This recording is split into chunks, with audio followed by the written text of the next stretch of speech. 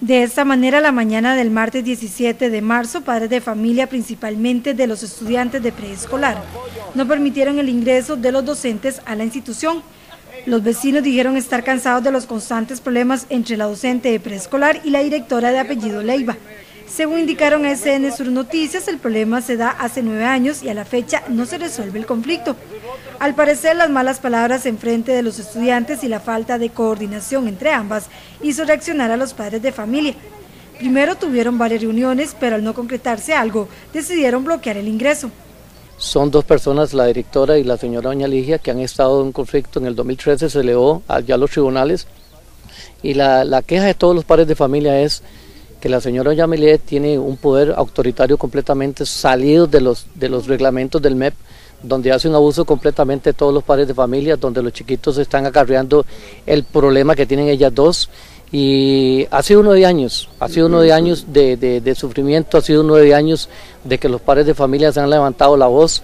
El señor Don Rafa en varias reuniones nos hemos reunido con, con, el señor este Don Rafa eh, y ha sido lo mismo, nunca ha llegado a ninguna solución. La directora va a, la aula de la niña y le grita unas cuantas palabras, se dan cuenta todo el mundo, todos los chiquitos se dan cuenta, excepto mi hija, llega a la casa y me dice, mami y papi, eh, la directora le dijo unas cosas a, la niña y, se escucha muy feo.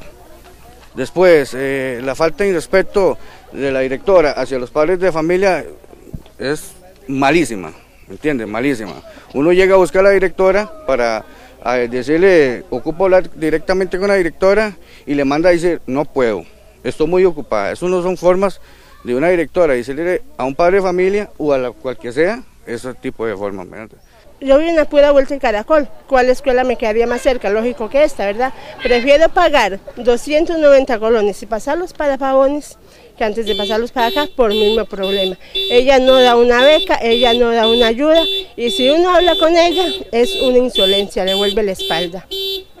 Y después este, con la kinder, con la maestra del kinder, de ahí me le manchó el expediente al hijo mío, que en ese tiempo estaba en el kinder, con solo que de, me dijo, le dijo inecto. Al lugar se hizo presente el supervisor Rafael Zúñiga, quien levantó un documento de la situación. Abrir el centro educativo, bueno, nosotros tenemos que tomar las medidas que nos corresponde como autoridades educativas y negociar la apertura del centro educativo porque usted sabe que el interés mayoritario, el interés mayor son los niños y entonces ahí habría que revisar qué dicen las normativas desde la parte legal, ¿verdad? Porque del padre de familia usted sabe que hay situaciones particulares para cerrar.